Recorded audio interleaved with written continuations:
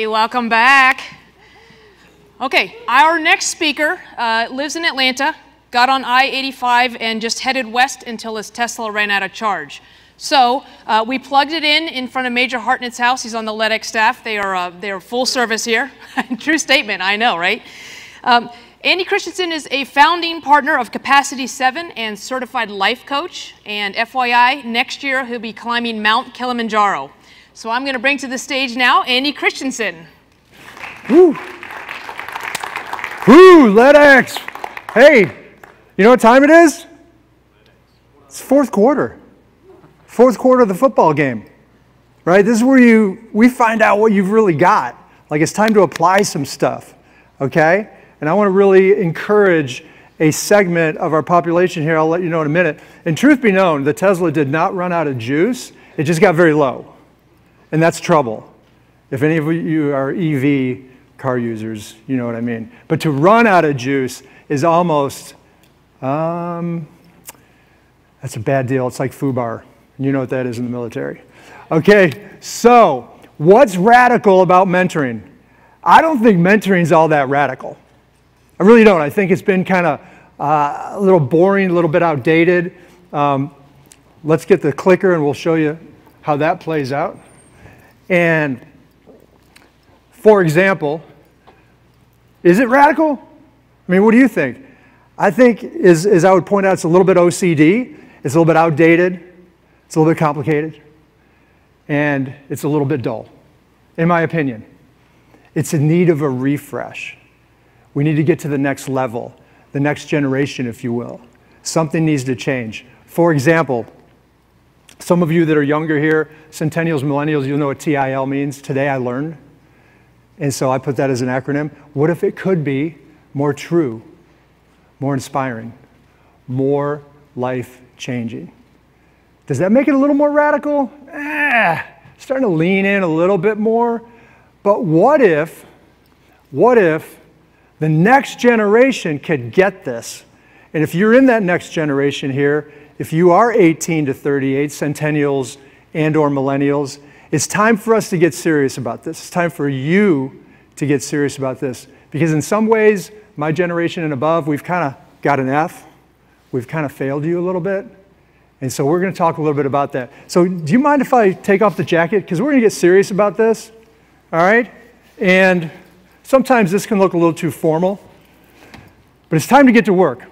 And I only have a few minutes here to inspire you to get to the next level. So let's look at it this way. in that generation, two generations really, Gen Z and Gen Y, they are, or you are, if you're in that age group here, the most educated generation in the history of the world. Do you believe that? The history of the world. So large metropolitan areas in the United States and cities around the world have 50% or more college degrees. That's a lot of knowledge and information, is it not? And as well, the most connected generation. What do I mean by that? Well, on average, the 18 to 38 year old has 250 friends compared to 25 friends 50 years ago. Now I know, okay, some of those are Facebook, Instagram, I get it. But you're still connected they're still connected to those people. And that can bring benefits and dividends to help influence and change this world. And this is the most passionate generation. They desire social change like we've never seen before. But they're kind of stuck in a construct that's tough to work around. So, what I suggest is that you've been dealing with false hope if you're in that generation false hope that we are coming, that Calvary is coming. And like I said, I think, sorry, baby boomers, we kind of get an F on being available and being intentional with mentoring. Now, there are a few of us that are out there, so God bless you, but there just aren't enough. So, what's the solution to that? I say to you, centennials and millennials, it's time to take back control. Well, gosh, I'm only 23, Andy. What do you want me to do? How can I go mentor people? Well, I do a podcast with a 21 year old, and I learn as much from him as he learns from me. Wait, what? You do a podcast with a 21 year old? Yeah, I'll show it to you in a minute. And it's amazing what we get to do together. We're modeling what seems so hard for other people. As well, I think if you initiate, and that's what it really comes down to initiate. You have to initiate the things you've learned here at LEDX. You know, you have to start thinking, what am I going to do different? And hopefully, with what I'm telling you during this talk. What will you do? You have to be deliberate. So, what is mentoring? That word, man, it's got a lot of baggage. And when I first wrote my book, I didn't call it mentoring, I called it the 40 40 principle. But inside, I described it as strategic advisors because mentoring was it was overhanded, it was heavy-handed, it was almost like controlling. But I believed in the concept so much because it helped me in my life. So then millennials come of age and they're like, you ought to rewrite that and use the word mentoring. So we did. So it does have some baggage. Change the name if you want, but it goes sideways, it goes up and down, it can go all around. Don't put too many restrictions on it. Just be intentional about learning from other people. And what I'm saying is, I want you to be intentional today to go get interested in other people, to be the initiator, to ask that person, tell me your story. Hey, I have a few questions. Could we grab coffee? Could we grab breakfast? Could we grab lunch? Just get interested. It's better to be interested than interesting. Have you ever thought about that? We're all trying to be interesting. Some of the most interesting people are the most interested. So, what if you don't do this? No harm, no foul, right? Well, if nothing changes, nothing changes. You've heard that. So be the change agent. We heard Jeff DeGraff say that this morning. This generation is primed, 38 and younger, to go make a significant difference in the world. I've heard that almost with every talk here so far to that degree. What I'm asking you to do, quite simply, and then we're going to get out of here. Wait, that's it? You're just going to ask us to do one thing? Yes. Co mentor someone, initiate. Well, what's co mentoring? it's making this thing as simple as possible. For example, there's a guy by the name of Colonel Bill, retired Colonel Bill DeMarco. I don't know if Bill's in here, I can't see. But he and I met at a conference 15 years ago, and it looked something like this. We're at Phillips Arena, and we had this mentor booth up. Uh, it was, a, it was a, a gathering for leadership, 20,000 people, Atlanta, Phillips Arena, you get the picture, and we have this booth called Mentor Boot Camp. We're going to train people how to mentor. And so we're over here, and people pour out, you know, during breaks, and they're kind of marching along, and they see this booth kind of peripheral, and then they get a good look at it, and they, they all just kind of instinctively do this. I'm like, wow, we're really scaring these people because we were camo and camo nets, and they get back in line and they'd walk down the hall. And it would happen consistently. You're like, wow, we are scaring all these people away. And then here comes this guy with another guy. What's this? What you doing? This looks awesome. Can I sign up? Where do we go? What do we, how do we pay? What do we, when is it? I'm like, wow, I like this guy. He's a man of action. So that was Colonel DeMarco. He shows up for the event. A lot of people would sign up and not show up. Not Bill.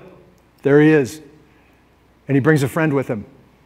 And we start this kind of geeky leadership connection because we both love leadership. We start talking about it. And years later, he invites me over to Mildenhall to speak. And it was fantastic. And I said, Hey, have you ever thought about doing some exploratory work with some of your team members? He's like, What's that? I'm like, like mentoring and coaching and all this stuff. He said, Oh, I'd love to hear about it. So we tried it with six of his guys, and it was fantastic. They loved it. So we decided to spread it out. And he invited some other people like Jason Womack, Helena Kim into the mix, and they started doing some of the same type of work. And he started to realize there's something here. And then he moves over to the United States. And he's back here at Air University. And he's just enough of a troublemaker to keep this stuff going. Thank God for him. And he invites more people, more academics into the mix, and it starts to grow, and he starts Leaders by Design. And Leaders by Design hits, and it's on waiting lists, and people loved it. And then I asked one day, I said, Bill, we had to do a reunion. How cool would that be? He's like, that's a great idea. Let's get some more people involved. And we started talking about what would it look like to bring people back to Air University. Guess what it turned into? LEDX. You get some good minds together. But what's my point? Two guys connecting, being intentional. OMG. What could you be creating? Maybe you already are, but what more could you be creating to get more smart people into the mix? As iron sharpens iron, so does one person sharpen another. Two are better than one, right? One falls down, the other can get back up. There's a better return on their investment. Strength in numbers. You've heard all the phrases, but are you doing it? Are you being that change agent in your world? Okay? That's the message in a nutshell. And on top of that, oh, by the way, there's, there's that handsome guy, Bill DeMarco. And there's one of the first Leaders by Design group, and of course, that's LEDX. So the challenge I leave you with is to simply write a name down. I mean, come on, it doesn't get much easier. Well, simpler. Doesn't mean it's easy. Who are you thinking about that you could go initiate a conversation with? Just say, I'd love to hear your story. I've already set this up with two people here since I've been here. Hey, I just want to hear your story and see if it grows into something. The last thing you want to do, please don't do this. Hey, you look like somebody that could use me as a mentor. Want me to mentor you? Or you mentor me? I'm like, whoa, that sounds like heavy duty. I don't know about that. I got a lot more questions than answers. But a conversation, a cup of coffee, easy peasy, powerful, dynamic. So if you haven't written somebody down, think about it. Write them down. At least put a date down when you will. So I want to be a part of the solution for you. I've written this book. It's back in the book, book area. If you want a copy, grab one. As well, I want to show you something else we put together because I was at a conference four, three weeks ago. General Dunn was the keynote. I spoke the next day. Everybody mentioned mentoring. I'm like, gosh, you guys are setting me up really good. And then I spoke on the topic. But people walked up and they said, hey, really like we had to say, but we need some resources. Do you have any resources? Well, yeah, I have a book. No, like, is there a guide? Is there a course? And I'm like, am I an idiot? Like, why have I not created this stuff yet? I've been doing this for years. So, out of that event, we have created this tool that goes live today, went live this morning. You can sign up for a mentor course, and this would be good if you're corporate or you're military or you just want to influence another person. It's just good stuff. How can I be a mentor, an influencer for positive change? Quite simply put. Okay? You can find it here. You can sign up in the book area uh, as well if you want. And this is the podcast. So, Instagram, if you want to stay in touch, I'd love to hear from you. DM me there or the the podcast is Overwhelmed How to Overcome Being Overwhelmed. And again, that's myself, over 50, JoJo, 20 something, Joseph Jacobson, and we toss around how to become purposeful. The last, the last one we just did Sunday night, I think it went live on Monday, was all around. I said, hey, I want you to go interview 20 somethings. Interview your people and find out what's overwhelming them. And he came back with this data and we tossed it around. It's fascinating. It's fascinating. So, one of the people that I think models this so well, and unfortunately we lost him a couple weeks ago, Kobe Bryant. I've been following him as a virtual mentor to me for about three months. And so, you know, when that helicopter went down, I almost felt like I lost a friend because I've been getting to know him. He's a really good motivator. If you want to Google anything like Mamba motivation, Kobe Bryant, really pretty good stuff. I'm going to play you a little bit of a clip in a second. But one of the things he was really good at was giving to others. And that's what I'm asking you guys to do is take some time and give. And one of the best ways to give is to just listen to people. That's all you need to do. Ask good questions and listen. So do you know Katie Lou Samuelson? She's a UConn basketball player. Well, he befriended her because he loves UConn. And she went to camp and he said, Hey, Katie Lou, have you seen the film from the game you lost to Notre Dame? She's like, Are you kidding? It's too painful. I can't do that. Ah, like pain in the heart. And he said, No, you, you have to. You must. Because if you don't, if you don't, you're never going to learn. And you're not going to get better. Do you think you'll ever face Notre Dame again? She said, Yeah, probably. He said, I just can't do it. This is Kobe. Kobe says, You know what? What are you doing tomorrow? I'm sure he was a busy man. What are you doing tomorrow? Well, uh, okay. So they sat down and watched the entire game replay twice. He pointed out footwork, what people did on timeouts, why they took the timeout. He was helping her think in a bigger way. He was truly giving and giving back. So, in closing, I just want to play a short clip of what Kobe had to say when Lewis Howes, who is a talk show kind of guy, Instagram guy, asked Kobe, Hey, how would you define greatness, Kobe Bryant? Take a listen. I think the definition of greatness is to inspire the people next to you. I, think that's what greatness is or should be. It's, it's, not something that's, that, that lives and dies with one person. Mm.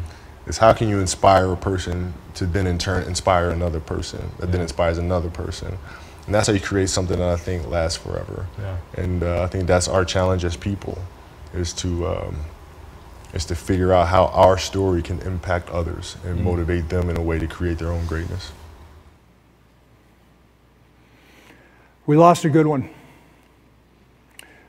So, guys, I hope you've been inspired. And I would just ask you to take some time and go inspire some other people around you. Thank you very much.